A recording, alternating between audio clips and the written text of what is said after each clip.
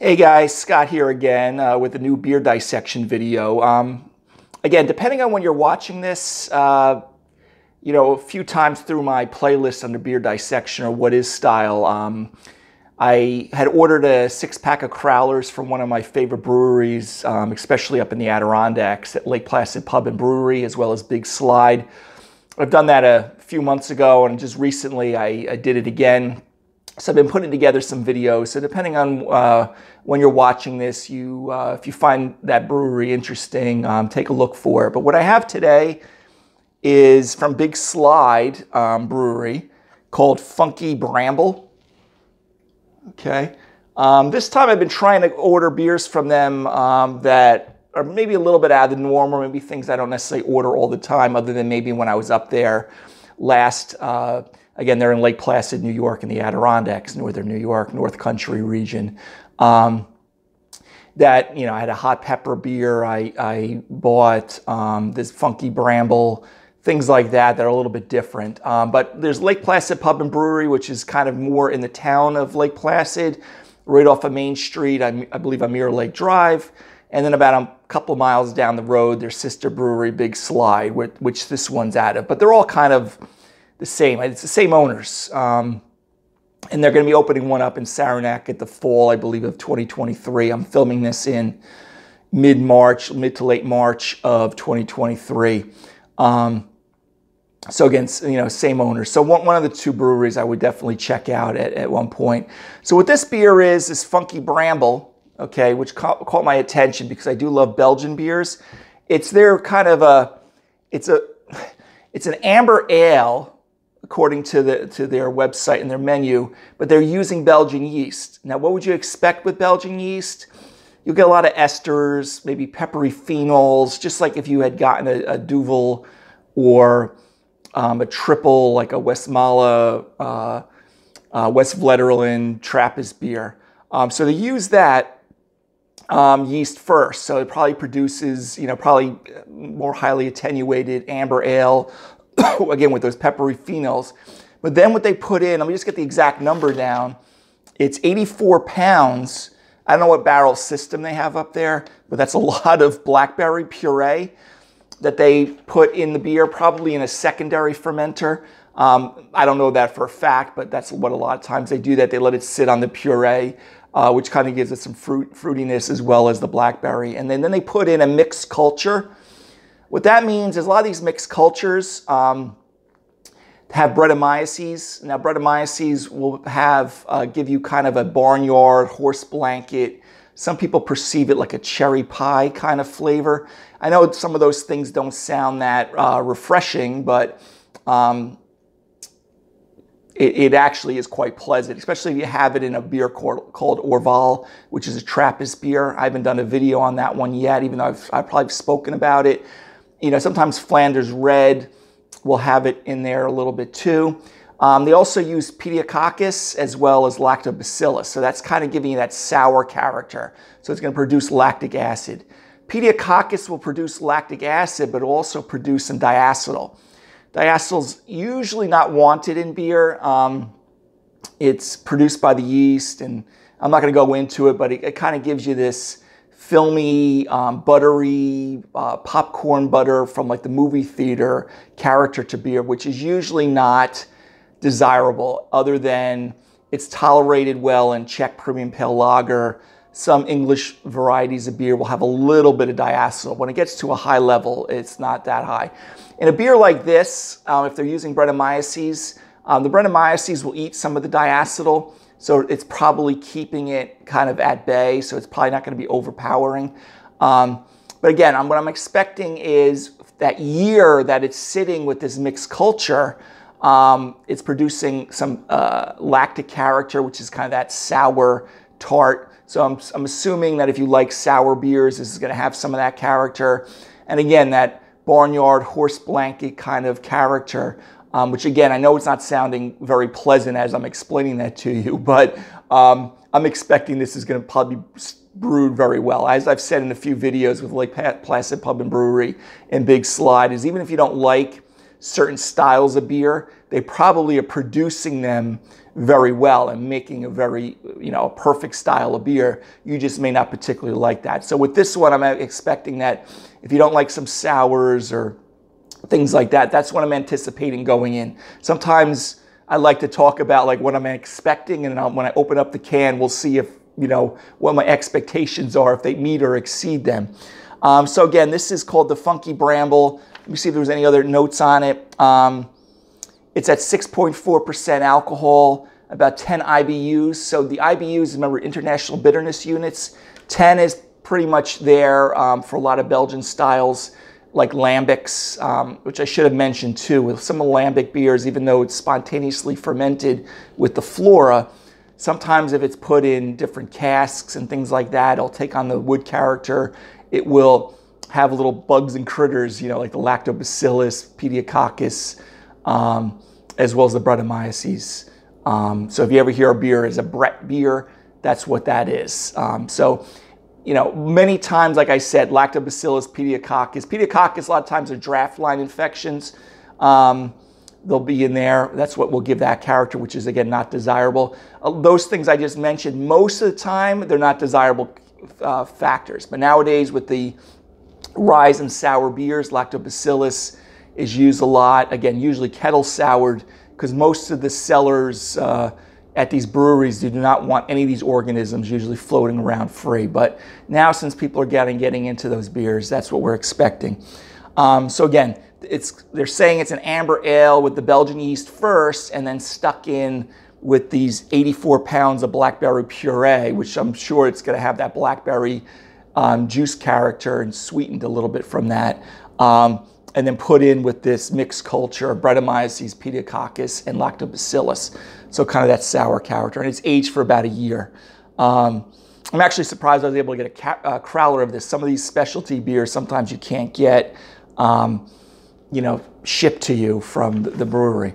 Um, so, okay, that's pretty much it. So with something like this, I'm definitely gonna go with a tulip. So even though hop character is not gonna be very important in this beer, um, you know, for, for a Belgian style beer, I would go with a tulip or a higher sized, uh, higher end tulip. That's, uh, when I mean higher end, more height to it. Um, or maybe even a goblet, you know, if you have it laying around, or a chalice, that would be fine too. Um, so, anyway, let's crack this bad boy open. Um, Again, big slide, funky bramble. So the funk character is probably coming from the Brettanomyces, okay? If you've never had it, try Orval. Um, it's a Trappist beer. It's found in some, you know, usual high-end, um, uh, sorry, I'm just having a little issue here trying to get my finger underneath the cap. Um, you know, you can kind of get a little taste of what Brettanomyces is, but it's actually quite pleasant. And uh, even Lactobacillus and Pediococcus, when used properly here, um, will be usually more pleasant than some of those negative uh, words that sounded like when I talk about sour, you know, barnyard, horse blanket, you know, uh, those things don't usually sound too good. Or popcorn butter. Okay, so let's check this bad boy out. Pour it in. Okay. All right, so, all right, so what do we got here? Looks like it's very highly carbonated, which I didn't mention. If you watch any of my uh, Belgian style beer reviews, I talk about how a lot of Belgian style beers are a lot more highly carbonated um, and effervescent, like Duvel and things like that. Um, so this one I could see is bursting out. We kind of got this little murky, you know, kind of from the blackberries is probably giving a little bit of a tinge of a um, cross between the amber and then the, and the purple from the blackberries or the blue from the blackberries, any way you want to look at it. It kind of is giving us this, you know, medium light to light brown kind of hue to it. Um, I could see the carbonation jumping out. Now, it doesn't look like it's got much head on here. Um, maybe from the fruit and things like that, but um, sometimes you may suppress the head sometimes um, in the beer. It probably has more to do with the, yeah, like I said, with the fruit. So anyway, uh, let's take a sniff of the aroma. Oh yeah, so I mean, I'm definitely getting that citrusy, estery character and probably coming from the blackberries. slight phenolic, um, probably from the Belgian yeast. Little slight pepper, but definitely more estery and fruity. Seems to dominate there. But very nice. I mean, it's what I would expect when you're putting 84 pounds of uh, blackberry uh, puree uh, in a secondary fermenter with your beer. And again, that's what I think what's giving you the color. So don't be scared off by the color. That's just probably from the fruit and, you know, the puree and the pithy matter from there, the seeds and things like that kind of change the color a little bit. But that's what I would expect um, from a beer brewed in this, in this manner. Okay, but we get, again, a little bit, you know, I'm expecting more on the palate. I'm going to get a little bit more of the uh, Brettanomyces character to it, but you kind of get a little bit that dank um, barnyard kind of aroma to it. But it's definitely dominating with the esters and the fruit. But anyway, guys, let's cheers. Let me take a swig of this. Ooh, yeah. so very high, let me talk about the carbonation. Very highly carbonated as I expected. And you would expect that with a Belgian style beer. Um, so it kind of definitely hits you on the front end of the palate with that. Um, low bitterness, which you expect, is only 10 IBUs. Um, kind of medium. You know, it's very effervescent with the carbonation, but it still kind of has that kind of medium mouth feel um, to it, probably with all the fruity nature in there. Um, there is that sour character from the lactobacillus and the pediococcus right up front. Usually the tartness from sour or acidity usually will hit your taste buds first and then the bitterness comes in later uh, from like the hops and everything. So this definitely is hitting you with the sour character.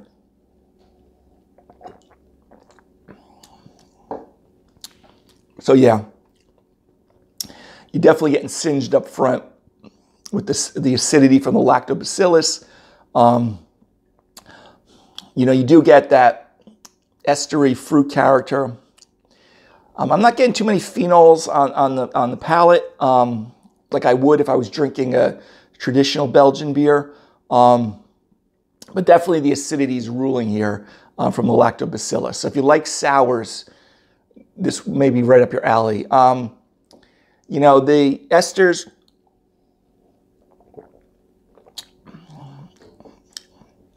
you know, also that, remember I said with Brett and Brettanomyces, sometimes people will describe it like cherry pie flavor. Um, if you have Orval, sometimes you'll have that a little bit. Um, I'm getting that here, and it complements it well because there is blackberries with it. Um, but again, you're still getting that tart um, character from, you know, the pediococcus and the lacto. Um, let me just get an, another swig here. Um, but it's nice. I mean, it's not it's not a necessarily a style I always gravitate to, like sours, but it's very quick, crisp, kind of you know sharp bite because of the sourness. Um, it's like drinking a Berliner Weiss. Um, if you ever have Berliner Weiss, it's it's usually kettle sour too these days. Um, it's like a, a, lemony, you know, you kind of get lemon on this too, like that kind of tartness to it. So it's kind of like a, a blackberry Berliner Weiss, very, pretty much with Brettanomyces. So um, that's kind of like if you get that kind of tartness from Berliner Weiss, that's what you, you expect here a little bit. Um, maybe not as, maybe similar uh, tartness to like a Gose. Um, but again, the cherry character, the acidity definitely dominates. Um, medium mouth feel. Um, a little bit of that that you know it's that you know it is called funky bramble that funk that you get from Brettanomyces and that's probably why they call it funky bramble is that um, you know usually when they say you know Brett and Brettanomyces it kind of gives that funk and that's when I was explaining that barnyard horse blanket type of character um, pretty much you know saddle like you know it's just it's just kind of that funky, that's the best way of explaining that funky, you know, earthy, um, you know, character with it. So again, this is kind of along those lines of that. But, you know, I don't get, you know, you get the fruitiness from the blackberry, you know, the cherry pie kind of thing from the Brettanomyces that you'll get sometimes on the palate. But definitely the acidity is dominating here um, on the front end, um, especially even if when I let in the aftertaste go. Um, I kind of get a little bit more, again, the, just the funk in the in you know the the barnyard character from it. Um, but very good. Uh, it's not again probably a beer that I will you know buy many crowlers of because it's just not the style of beer. Because I'm not a big sour um, beer. I think I did a one from from Bend, Oregon, a, a apricot sour, and that very good. And this is well made. This is I think they nailed it as far as um, Big Slide for what they were trying to achieve with the sourness of the Pediococcus and Lactobacillus. They got the fruit and esters in there. Um, a little phenolic more. I got a little more phenols on the nose than I do on the on the palate. Um, and that funk. I mean, so again, the funky bramble. So if you if you like, you know, Orval, um, you know, a lot of uh, these farmyard kind of beers with mixed cultures and things like that, this is right up your alley. So I mean, as far as being well, being made well, I would say B plus, A minus. Um, I've never uh, brewed a style this beer, so it's hard for me to criticize uh, this particular one. Um, but it, you can see it is it does have that amber hue to it. Um, and again, with the 84 pounds of blackberry puree, you can see it kind of gives you that that brownish tinge um, that you would have from there. Um, you know, but again, probably not a style. If I was uh, when I go back to visit, which we do usually go many years. Um, for many years, we've been going up there. Um, maybe I'll try a sampler of it again. Um, but I'm not a again, I'm not a big sour guy, so I don't know if I'd buy a whole crowler of it. But if sours are for you, this is definitely something that you should uh, try it out. Okay. All right, guys. So Big Slide Brewery. I probably had it popping over my shoulders a few times um, called Funky Bramble. Hope you learned a little bit about what Lactobacillus, um, Pediococcus, and Brettanomyces does for beer if you're at your local microbrewery. Um, and you see those things. Um, again, Lactobacillus and Pediococcus, the acidity, lactic acid, of course, um, from that, and the Brettanomyces kind of gives you this funky barnyard horse blanket kind of character, at least how it's usually described in the learnings of uh, Cicerone and things like that, and just beer culture. Um, so anyway, guys, till the next one, this beer dissection, Funky Bramble from Big Slide Brewery in Lake Placid, Adirondacks, New York. Um, till next time, um, hope you found that informative. Take care of yourself.